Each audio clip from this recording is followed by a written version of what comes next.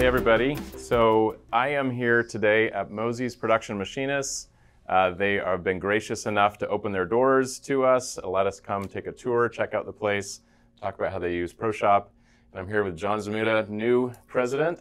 Congratulations, my friend. Thank you very much. Good to see you. Good to see you as well. Um, so one of the things I just love about this industry is how open everyone is to sharing and contributing back, and uh, you guys are just a prime example of that. So thank you for having us. Absolutely. Um, tell us a little bit about the history of Mosey's before we do the Okay. tour. Mosey's was established in 1975. We're a veteran-owned small business. Um, we are about 33 people currently, and um, run lights out 24/7 when when we can. A fair amount of automation and robotics on five-axis lathes and horizontal mills and bar-loaded smaller live tooling lathes.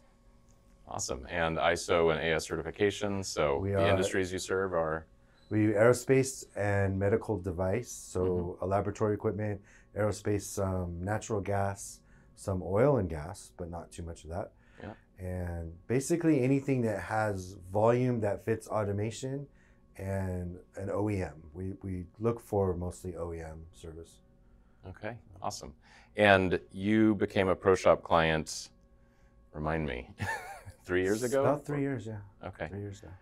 And uh, we'll get in and talk more about what that journey's been like as we go through the shop. But uh, yeah, let's go check it out. Come with us. So, John, I'd love to talk a little bit about how your office processes have changed Okay. since uh, since before and after ProShop. Okay.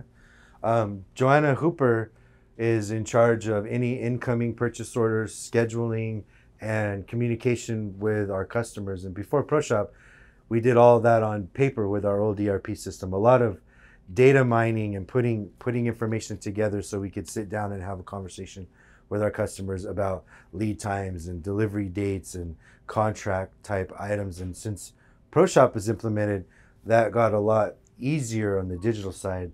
What's your your thoughts on that? my take on ProShop and everything. Yeah. It's been exciting to honestly grow the relationship with the customer. I have more time to spend with them instead of chasing parts. That's been very exciting. That's That's important. been- It's very So- important. Building relationships, giving them accurate information, real time information has been wonderful. Less running around for you, Yes, less. I run around because I like it, but it's it. I have the information seconds. Right. Yeah. That's wonderful. Yeah. She'll walk around and it's just a rolling cart, Yeah. little rolling cart. She put her laptop on the rolling cart and push the rolling cart around the shop, pulling up information, asking Yeah. asking good. operators questions, getting answers so that she can talk to our customers and let them Right. know where the parts are in process. real time data. Right. And has the lead time when you used to process a new PO to when work orders were ready, has that time shrunk? Yes, it has. Can you give me some sense of it? Yeah, getting the PO, putting in the system, Yeah. minutes. Yeah. Compared to me walking around to each department and handing order material, do your quality plans, make sure you put on the machine, and just enter in the ERP system, procurement gets pinged, Right. QC gets pinged, everybody knows what to do. Right. I'm not going around telling people what to do. The system is working for us. I love it. Awesome. Yeah. Well, Joanna, thank you very much. Thank you. Appreciate it. Okay. So, um, yeah, on our way by, let's uh, just take a look. And people always love parts. So uh, let's take a look at some of these parts you got here. So here's here are a few of the industries that we serve. We're in oil tool, space. So we do some work for satellites and some laser equipment that they use in space. Lasers. We do housings and frames for laser equipment. Uh, ventilators. We don't do very, very much in ventilators currently, but for a while we were pretty heavy in ventilator production. Gas analyzing for natural gas. Mhm. Um, airframe. So we do parts for oh, yeah. 737 Max. We Very do, nice. That's a cool part. Yeah, that's a it's a cover. It goes on the fuselage. It's an access panel cover. Nice. So we do some hydraulics, um, some EV. That's that's a manifold that goes into EV for Mhm. um, hydraulic cooling and heating. Yeah. Hydraulics in in gas compression and in fluid motion control. We do aircraft refueling, a fair amount in the aircraft refueling market, and medical laboratory. So machines that are in labs, centrifuges and such, and hydrogen compression. We really aren't, aren't doing much currently in that, but for a while we were pretty pretty heavy in hydrogen compression for um, hydrogen vehicles. Very cool. Quite quite a, quite a variety of sizes and materials and geometries for sure. Yeah, we try we try to keep our our options open and our industries diversified as much as possible. That's smart. Yeah. When one is up and the other's down, you kind of level load everything. It's helped us throughout the years when we've had downturns, that's for sure. Yeah. In our shop before 9/11, we were very concentrated in a couple of shops and mm-hmm. our customers, and it was it almost killed us because we weren't diversified enough. Yeah. So I know that's it's an important lesson to learn. Yep. All right. Awesome. Our library. Cool. we have a library. So people are free to check out books whenever they want to learn something, and we may have some reference or source material for them. It's mostly business, mostly culture, Yeah. uh, how to achieve open communication, how to have a healthy culture, um, management strategies, and then finance. And I see on here, this is one of my favorite books of all time. I talk about it all the time. Very uh, influential in the growth of our shop years and years ago. Yep. And especially the importance of building business processes that are repeatable. One of the books that's required reading when you get into management is The Goal. Yeah, as it should be. Everybody here has to read The Goal at a certain point and above. Love it. That's Yeah. that's very forward thinking. That's awesome.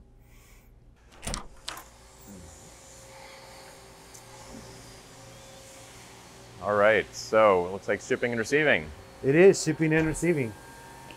So ProShop's really helped us out shipping and receiving as far as getting parts packaged and sent to the to the correct locations, keeping track of upcoming pull from inventory orders to ship out. Yeah. We built a dashboard for shipping and receiving to see the orders that are coming in the next three months. Okay. And when they have free time, they can start packing and staging any items that are already in inventory. So it's ready.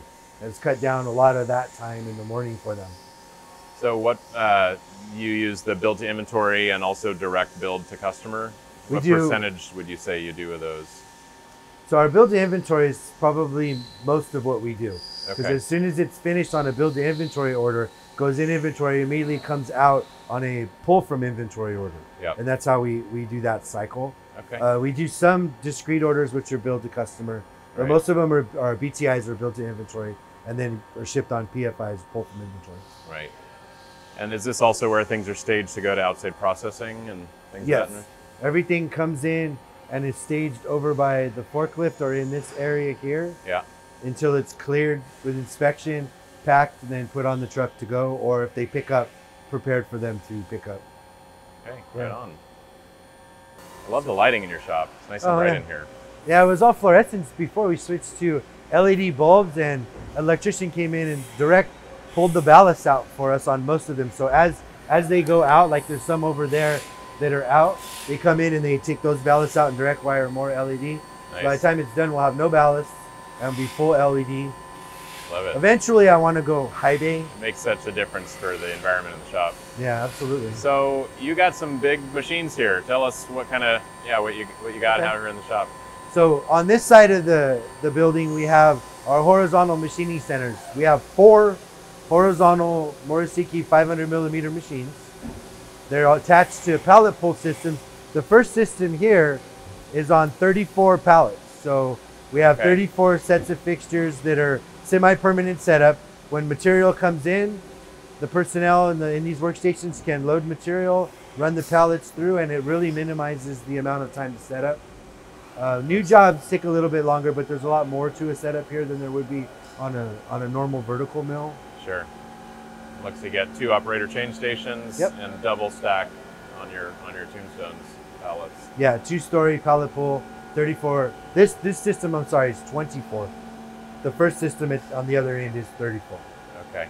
So same same footprint though, same size machines. Each machine carries 240 tools in a matrix, so we can stock them up pretty good. Yeah. Not have to change It up. looks like much. you combination of billet and castings and other stuff like that. Yep, all kinds of stuff. So we'll do castings, forgings, billet. We do some plastics. Our material range is all the way from plastic through titanium. We're not really into the the super high temp stuff like Inconel, but that's just because we haven't had that order come through yet. Sure. We'll try anything. right. Yeah. So I see you have a big TV here up with ProShop on it. Um, Yes. So that's Uh, so whatever work, and you have another one here as well. Yes. So So what they're doing here is on the, the, the television, they're using that to collect their in-process check data. So Okay. if they go to the surface plate, we have digital height gauges, standard height gauges, the, the whole accoutrement of tooling. And the operators will check check their parts, record the data out at the work order level for that operation. On this side is where they do clocking in and out of jobs, clocking in and out of time clock, Yep. um, any other communication that they need to do throughout the shop. That's done on the smaller system so that they don't interrupt somebody that's checking parts. That's basically for schedule and checking parts. got it. We have that at each system, same setup. Nice. Yeah, standardization is important. Yeah, we put more more points of usage out in these systems because there's two, to three people always in the same location. They don't they don't have to share. One person can Sure. can use as the other person's checking parts. Yeah, yeah. So I noticed we also just went past a bunch of TVs up here. Do you want to Yeah. share a little bit about what these are about? Sure. Yeah. So what do we got here? All right, so from left to right, we have our schedule on this side. This is a query that that Joanna in customer service who you met set up on a must leave by date status. So they're all red at the moment. We had some machines go down last week for several days, so it bumped us pretty significantly. We're getting that caught up now, but um, this tells everybody on the floor when their operation needs to be ready to go outside to whatever process may be next. So Okay. that's a that's a way for them to track their activity and, and what they need to focus on. This is a Power BI dashboard that we built using the, the data from ProShop. We bring it into Excel and then then um, send it to Power BI where we graphically show quality, on-time delivery, cost of quality, um, value added, value added labor. So all everything that we're Sure. collecting time wise. This particular screen is showing DPPM. So as you can see from December forward, we had a huge spike in DPPM. We had a fairly substantial rejection from a customer of outside parts that were processed outside Okay. that really spiked our DPPM. We got it down to zero, spiked Yeah. again for a couple of months, back down to zero, and then we're around 1300 average. Our biggest customer measures us by DPPM, Okay. and their standard is 1500 or less. So we Alright. measure ourselves on that same standard. Sure. So you can see um, our current month, 47K. So we've had a lot of, not a lot, but we had, didn't ship a lot yet and had some parts come back, which really affected the number. It's so hard to do DPPM when you're a sm- relatively small volume. 100 piece orders, yeah. 100 piece order. Absolutely. But we, we measure it, we track it, we display it. No secrets. Everybody understands exactly the condition of the shop. There's actually five screens in this. It's on a timer, it rotates through. Yeah. So this will show quality as a percentage, internal. So it just changed. Yeah. Oh, this is our NCRs. So Yeah. we measure our NCRs by cause code, Yep. cost of that cause code, and who it affects. Sure. So everybody knows exactly, I like you know, what activity, what activity is, is driving what cost and who is being affected by that. Sure. Puts a puts a name to the quality as well. Yeah. Try to make a personal connection, make a personal connection to the people on the floor and who we're supplying, then it drives more well connection. It drives better quality, you know, more purpose. I like it. Purpose is important. Also, what will happen next on this is it'll it'll rotate to the actual NCR. So Oh, really? the Okay. yeah the NCR module. Yep. It'll show the actual NCRs, people responsible, what was affected, part number, and everything. Nice. Yeah, you'll enjoy the new native uh, Power BI integration we have coming out. It's in beta testing right now. Yeah, I saw the demo on that. Yeah. so Absolutely. we're excited for that. And then fixturing module. Right now, it's it's all of the job boxes, and we'll get to that when we when we end up on that side of the shop. But all of our job boxes and fixtures are in the equipment module and checked on a frequency to make sure that Nobody's borrowed any hardware from it, and the job box has any special tooling that's supposed to be in there, any work holding that belongs in there. So when we kit and provide the the set of people with their Yep. their job kits, they're full. Right. You know, there's not something missing. So, I guess maybe we'll get it. Do they take pictures of what all should be included, Mm-hmm. and then they compare that visually against what's there? So when you go into the actual maintenance of the item, Yeah. there's instructions and pictures on that maintenance. So when Sonny, our, our tool crib attendant, um, pulls that up, he, he sees it. He's the one that takes the pictures and builds the maintenance item. Okay. So, yeah. I love it. That's fantastic.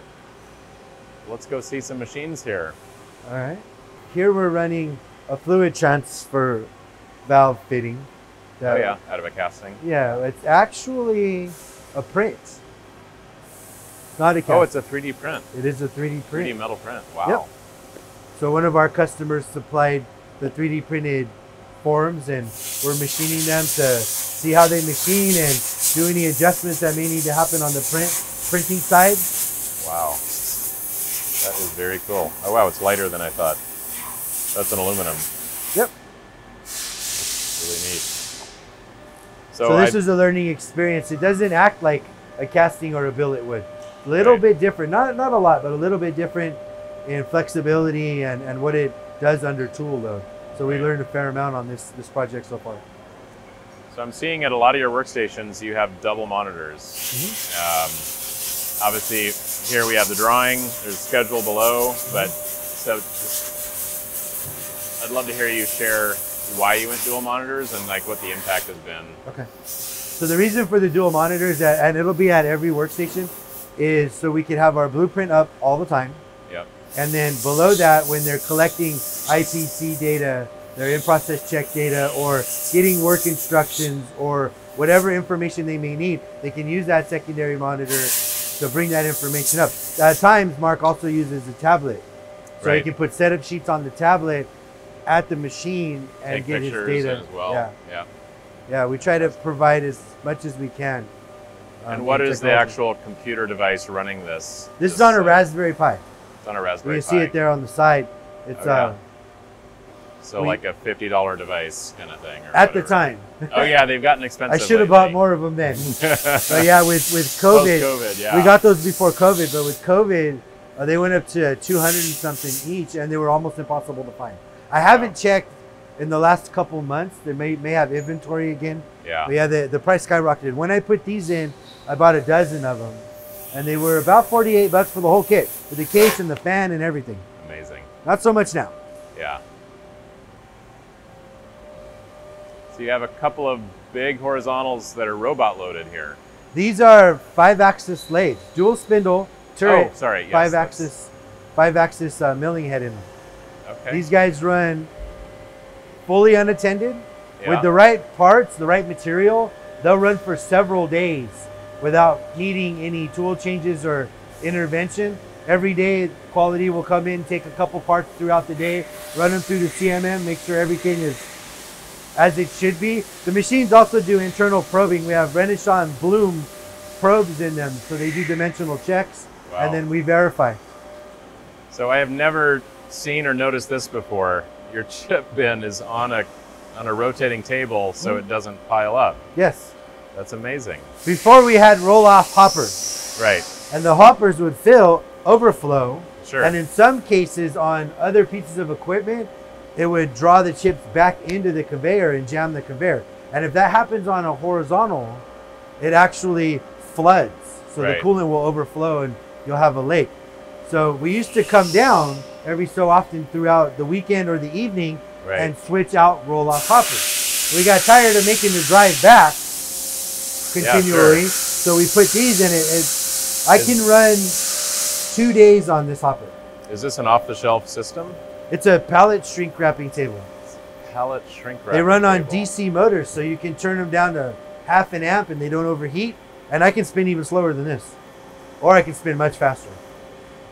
That is so cool. What a great idea. And our next problem was running out of coolant, so we put a float system drips coolant from a 150 gallon tank, so it keeps the machine half full all the time. Right. That'll last about two days. This whole setup will last us about two days. Every two days we gotta swap it out, but it'll last the whole weekend. That's brilliant. I love it. Yep. So then we've also just passed a few just kind of standalone lathes here. Sure. These Doosan's are bar loaders, so up to two and a half inch capacity, 36 inch bar loader capability. They also run through the evening on the right materials. You Uh-huh. can't run just any material, of course, but Sure. aluminum bars or plastic bars, we just let them run. We come in in the morning and take a sampling, the beginning and the end. This one is running. Yep. His system went to sleep. And so here, with just the layout of these work cells, you've obviously gone your double monitors horizontal right on top of the chip conveyor with Yeah. a workbench below it.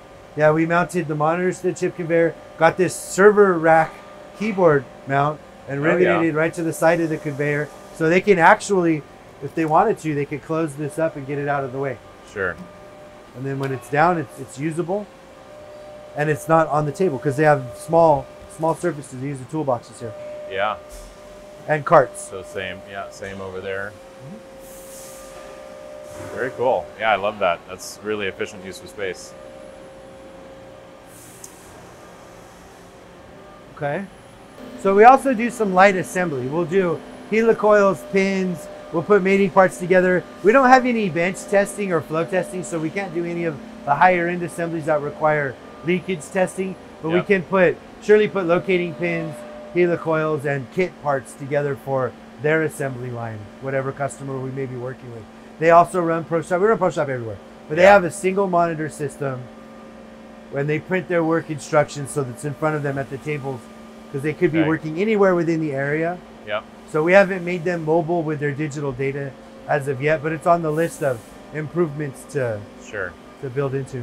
And then pulling uh, helicoils and other inserts and hardware out of the COTS module. All COTS so, items, yes. So all inventoried and Yep. yeah. Yeah, all of that rolls up to uh, cost of goods sold material and is measured on every job. And of course, certs would be scanned in at receiving, and so Yep. they're linked automatically to the work orders. Rolls up to the AS9102, and everybody gets an AS9102 because it's automatic. Right. So even medical device customers who don't require it, they get that nice packaged first article report automatically. We don't have to do any extra work to do that. So it's help it. us contain costs for sure. Did you have any clients that say that's too much of a report? We don't want that much, or are they all happy to have it? there is one client in space sector Uh huh. that has their own that they want done. Oh, And I don't know why they have their own that they want done, but I think it feeds up trying to to their. the wheel. Yeah. I think it feeds up to their end user. Oh, sure. Got it. All right. Cool. and then more standalone with um, same dual monitor setup. Same, it's the same throughout. Right. The only real difference is some places are on a Raspberry Pi, some places are on a um, Mini X, which is a Windows-based system. I found that the Linux system is so much faster for us. yeah. It doesn't have any of the things that slow Windows-based systems down. So they can Okay. log on, they can get in, they can do everything they need to do on ProShop. The only thing we can't do with that is link to the document storage. So the, what they call the K drive. Yep. We can't link to that, but it doesn't you can matter. still pull up your drawings and stuff. It's Drawings, really- pictures, everything still loads. Right. We just can't change anything, Got which it. is fine. It works perfectly for the shop floor. right. So you don't need Gives- to be changing that. Gives us great revision control yeah. and doc control. So then, uh, so there's your tool crib area back Yes, here. sir. We're- So we store all of our tooling in these digitally locked cabinets using a kiosk with a tooling database. So we have a location and quantity on everything that's in those cabinets. Whenever somebody needs to pull a tool, they'll come to the kiosk, they'll, they'll log in, they'll pull the tool, it'll decrease inventory, and the tool goes out to the floor. The tooling person, the tooling clerk in this area, takes the tools after they're done with the job, evaluates them, whether or not they can be used again, Yep. and we'll add them back into the system or destroy them and place a purchase order if we need to order more. It's also where we store all of our fixtures. So all of the fixtures you see in these yellow boxes are specific work holding or very specific tooling for jobs Okay. And they're also checked out and in so we know where all of our work holding is all of our toolboxes we know where the tools are um, we're building towards using Pro ProShop's tooling module so we know what's in the machines Right. uh, we're not quite there yet we're, we're working on some educating ourselves on APIs so we can see how we can hook these systems together. Sure. But we're working on that. Very good. Our end goal is to be automated. Right. You know, Sure. open the open the, the the application and understand it all. Yeah, yeah. So and how long have you had a tool crib attendant? And when did you make that decision to, to have one? We've had a, a specific tool crib attendant for about 15 years. Oh, a long time. So we started on a, an old Parlec presetter. And then we had the attendant that would kit all the jobs, preset all the tools, send them out to the floor. The presetter uh, became obsolete because Parlec was, well, became obsolete. Now they're, Sure. I think, Omega. Okay. And it was no longer repairable, it broke. Oh, okay. So we looked at the cost of investment versus what it takes to just set the tools at the machine. And it Within wasn't machine probing. it wasn't worth yeah machine with machine probing it wasn't worth the investment at the time but since then we started a process with our digital height gauges that may get us back into presetting Okay. um, without having to buy a whole presetting system so we're working on that that project So I know in some shops there's a debate whether or not the value of a tool crib attendant is worth the efficiencies that it gains on the shop floor. Mm-hmm. Clearly, you think there's a good ROI for that person. yeah because since we've had a tool crib attendant and they've they've gotten completely up to speed uh, we haven't had any jobs sit because we didn't have a tool Right. and we used to have that problem from time to time we've had it zero Right. So, So, yeah you can keep those it. spindles turning because you're not waiting for a job to be kitted, or you don't realize a tool's not here, or you don't have the thread gauge you need. That person's getting all that ready to go. Yep. Yeah. and they stage them on the carts that you'll see when we go this way. The setup people put them directly in the machines, Yeah. and they're ready to go. They don't have to hang their own tools. Concentricity is not an issue. Tool tool length is not an issue. It's all verified. So is this an example of a of a job that's being kitted? This is a job that's coming off Okay. that needs to be put put away. All right. So fixturing, tools coming out, everything's there. Any applicable notes. Yep. Special special holders, special Yeah, we got to get down inside a casting. Yeah. Right. This where is- are the ones that are getting actually prepped and kitted to go So this one- machines? This one is kitted and Okay. ready to go. It's staged next. And then on this end, those two are being put together. And then Yep. when they're ready, they'll go on carts. That's got a kit on it. It's ready to go out. Okay. Yep. So once we get our API established and everything's working, we can just push these right out to the machines. Load the load the tooling carts, and Sure. the, the setup people or operators can upload that right into their piece of equipment, and then programming can look out there and see. Uh, I have to do this new job. It's going to require these tools. Let me see what's already in a machine, and maybe we can Sure. help decrease lead time that way. We're just not quite there yet. Yeah. We're working on it. Yeah, that's a complex system, but uh, definitely a lot of benefits once you can Sure. get all the way there. and it gives us the opportunity to learn how to use APIs because that's exciting for me. I Sure. love the technology side. yeah. That's where that's my wheelhouse. This is more fixturing storage. These are current fixtures that can be put on any of the vertical mills. We used to load them in two pallet changer mills that have aged out of existence. So Okay. we, we got rid of those machines They now work and in the replaced them. horizontals too. They work on some of the tombstones in the horizontals. Not all of them have this same ball lock pattern, but Right. all the verticals do. Okay.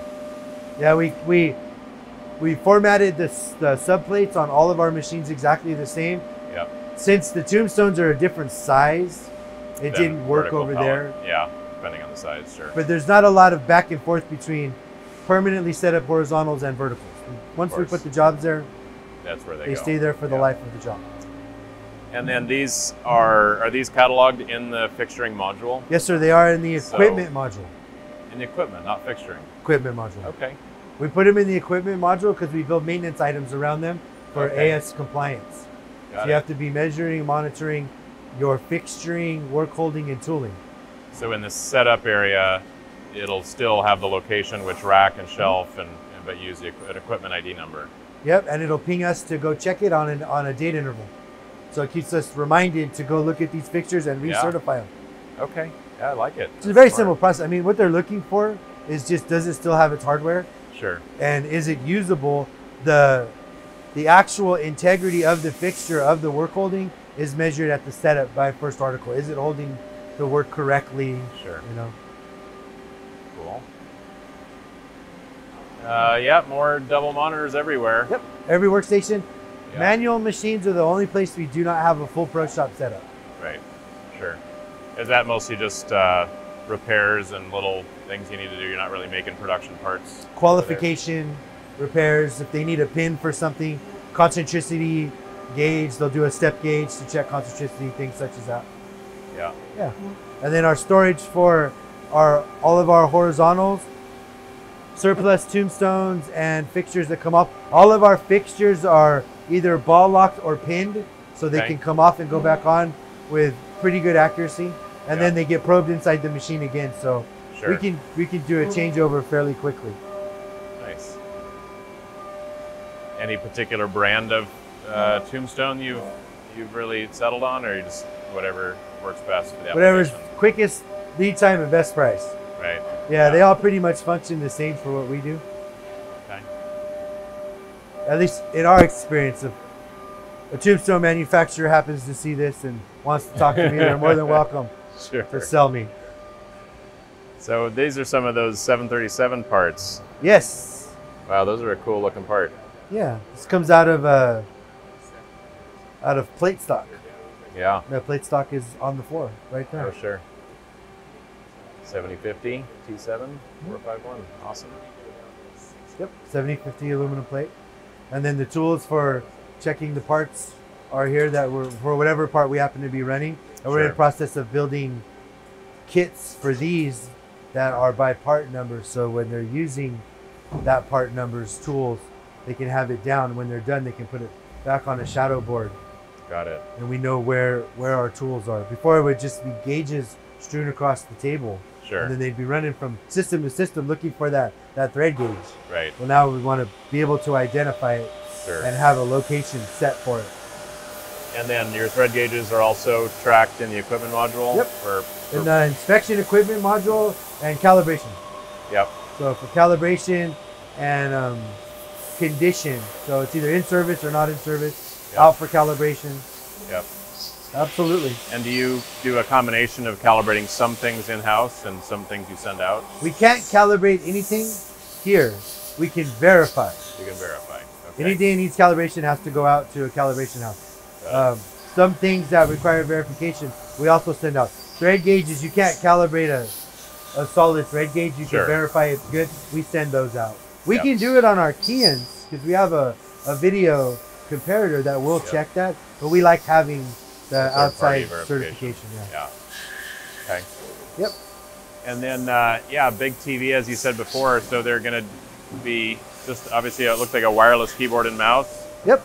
And then uh, looking at uh, their in process uh, or and or first article results. They'll get first article results. They get their they they capture their in process data. Oh, and this is also Raspberry Pi, isn't it? I'm not positive on this one. Yeah, yeah, Yep, I see it in the corner. It's a little different look than the Windows, Yeah. but um, They yeah, just so there you go. they all, work so flawlessly. all green. That's good. That's what we shoot for. and we didn't even pull that up in advance. Nope. Just all green. Fantastic. I love it. Um, and then so basically the same same setup, but you said uh, same types of machines, but slightly different. Some of them are newer, They're all different features. all the same model number. They're Yeah. all NH5000 DMG Moris, but those were purchased in 2002. Okay. That one's 2017. This one's 2012. Okay. So the, these are the older pieces. Still running great.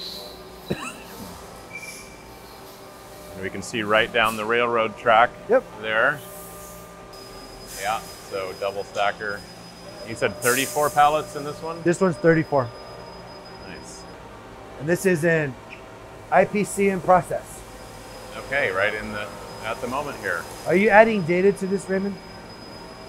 Uh, Are you doing an IPC? Yeah, I'm doing a first article right Oh, it's first article? Okay. So he's getting a first article. Got it.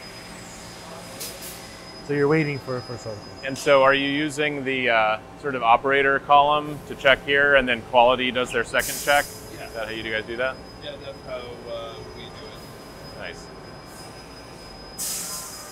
And uh, do you have the? Like, so here's the. This is green. This is green, and and a hyperlink because the drawing will be there. So do you just have that up on another tab? Uh, your drawing as you're doing your inspection. Yeah. Uh, it's a more common part that sometimes so after a while you get focused on it.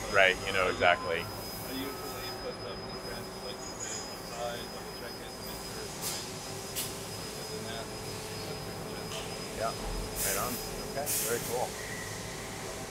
Awesome. And you have, uh, I noticed on the, over there and also here, you have a not super heavy duty cranes, but you do some heavier parts. 70, 77 pounds. So that pounds. that okay. center differential housing 77 pounds. These start out casting at 37, end up at 28. But Yeah. still, even in the 30s, when you're lifting yeah, chest high and out, Yeah, that's that's a little so hard. we, we strap them and use our our little winch crane okay. for these plates as well. We'll we'll add that lifting device. It's just got Allen Oh, screws yeah. with teeth on the end, and bite into it and pick it up, load it in the fixture, pull fixtures off that way. Got it.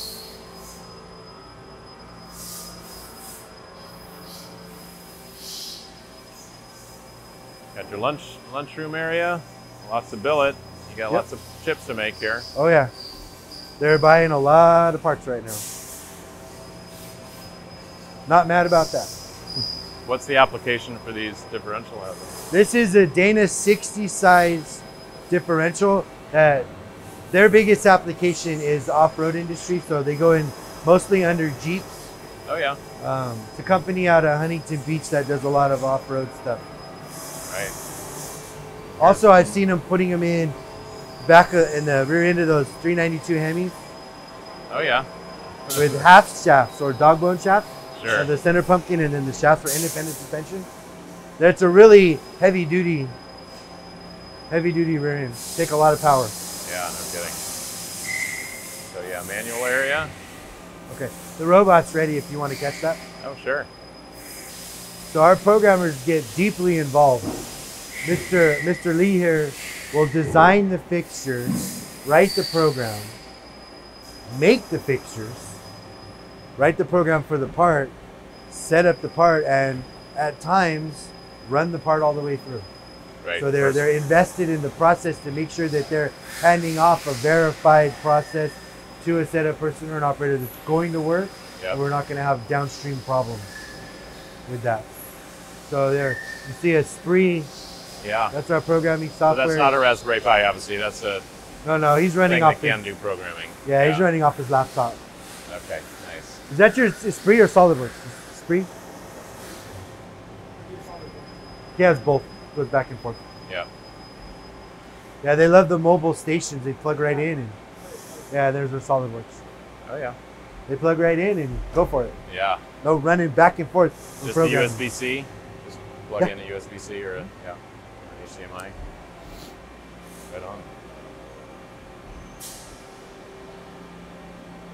And next, we're gonna build ourselves a parts washer. You're gonna build one. Yeah, we got a high volume pump. We got the uh, Schedule 80 PVC Uh huh. and the, the tank. We're gonna cut the top and hinge it. And we're gonna build a rack with spray nozzles in there. Yeah. And we're gonna put those plates for the 737. Oh yeah. Sure, fire it sure, up sure. and rinse the plates before they they get deburred so they don't collect deburr deburr red wheel fines in the Oh, residual coolant and minimize the amount of FOD and outside process FOD. This guy is about ready to do its work, so let's get staged, Mark. So this thing uh, is gonna do a cycle here. It looks like. And tell Yeah. us who this is. This is Nedra. This is Nedra. This is the current owner's mother. She is one of the founders So the Nidra robots. and Fred Mosey were the original founders. Fred and Nedra are Bob's mom and dad. Okay. And Bob's our current owner who's now retiring. His son Nick is our CFO. He's in the business now, so we're working on Gen 3. And yeah, she's we named this robot after Nidra, got a picture of her, made a plaque. I love it. And then the other one over there is Freddie. And we Yeah. have one more plaque in my office for Sheila, which is Bob's sister, who's, who's no longer with us. We have a robot in the back in storage that's going to go on that last lathe. That's going to be Sheila. All right. And then when we run out of family, we'll start naming them after, I guess, tenured employees. We don't know yet. We'll figure it out. Well, let's see this thing run. All right. So, do you want me to explain what it's going to do? Yeah, or- yeah. Sure, Okay. Go for it. So the machine is ready for a switch out at this point. It has a finished part in the sub spindle. It has a half finished part in the main spindle. The robot's going to enter the machine, remove the sub spindle part, close the door. The machine's going to bring a wash and fan. So the wash is going to Yep. come out, spray everything, Yep. and then it's going to bring a fan out and blow everything to get the chips off. Biggest Sure. thing you'll find in automation, the biggest obstacle is chips. When you're running- Yeah. door closed system, lights out, or even while you're here but not manning it directly, those chips are what give you end up giving you discrepant parts. Sure. You know? So we wash, spend a lot of time of the cycle, or a good portion of the time, making sure the machine's clean inside so we don't have scrap from chips. So after it comes out, closes, does its wash, it's gonna place that finished part here Yep. on this side. It's gonna come over here and use its vision system to locate this part.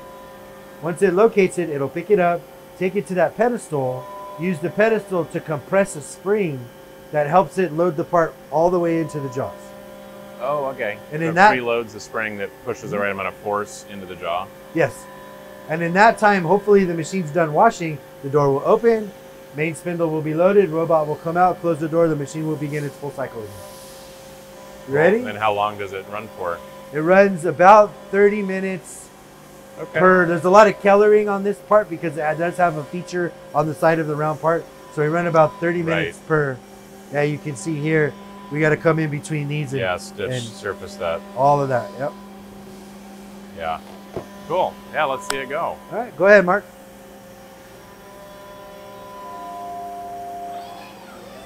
That moves pretty quick. That's at about 75%. Oh, is it? Okay.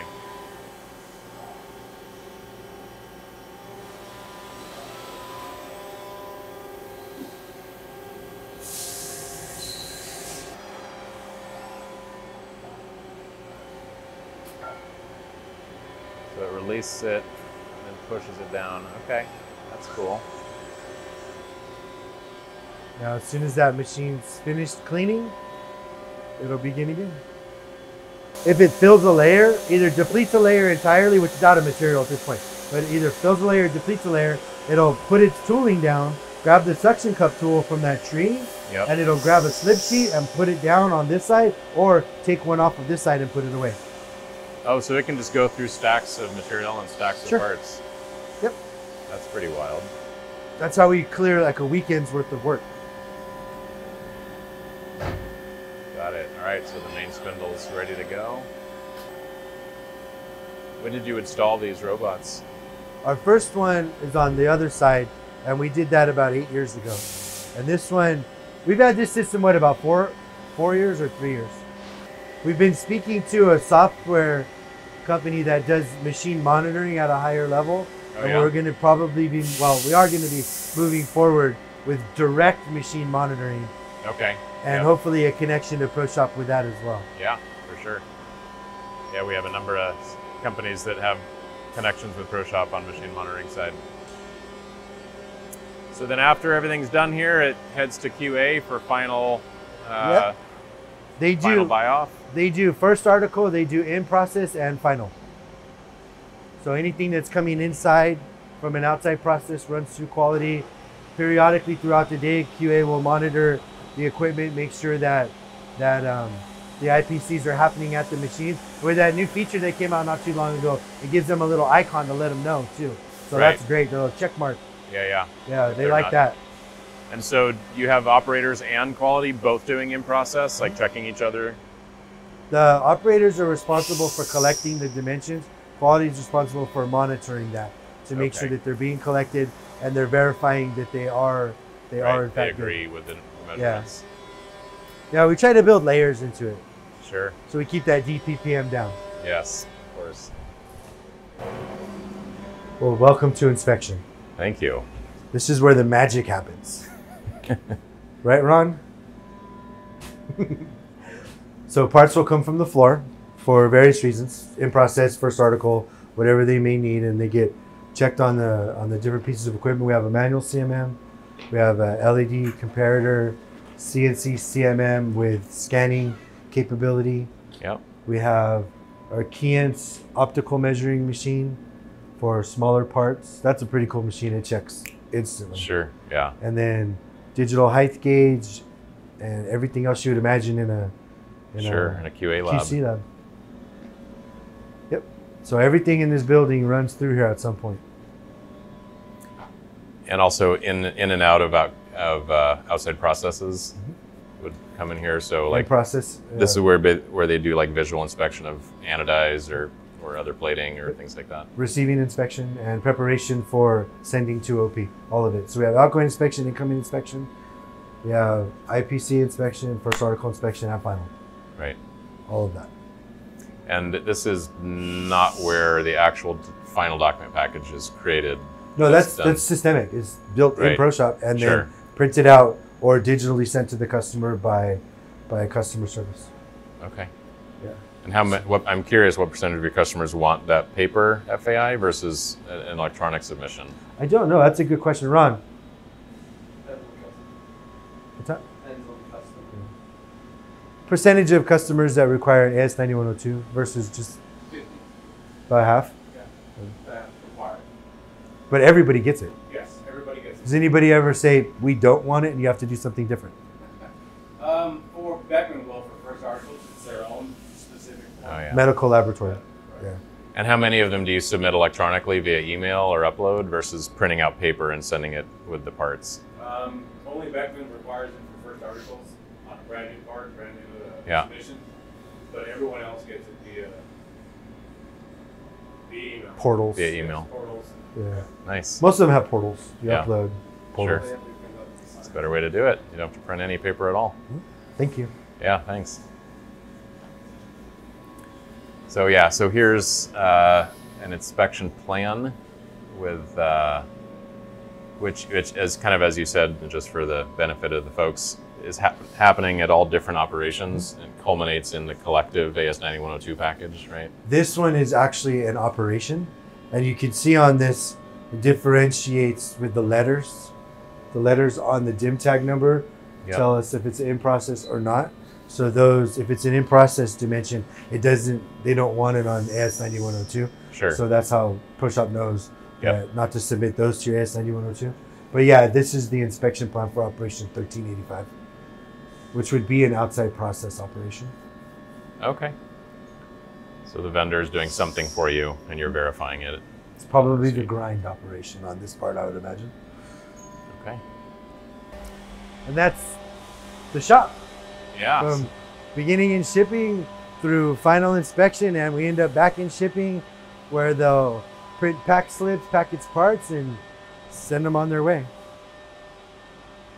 Fantastic. Sometimes it's it's labels, depends on what the customer wants. We have a dedicated label printer. They sometimes they're barcoded, QR coded, or whatever. Sure. Whatever they need, we can do anything they they need us to do. Yeah.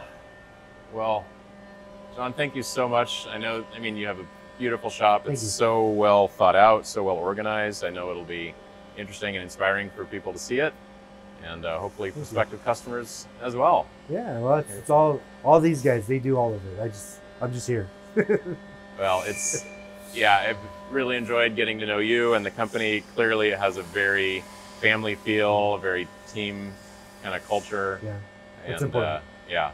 And uh, it's been serving you guys super well. So thank you again so much for Yeah, everything. Absolutely. Good to see you as always. Yeah, absolutely. Thanks, Paul.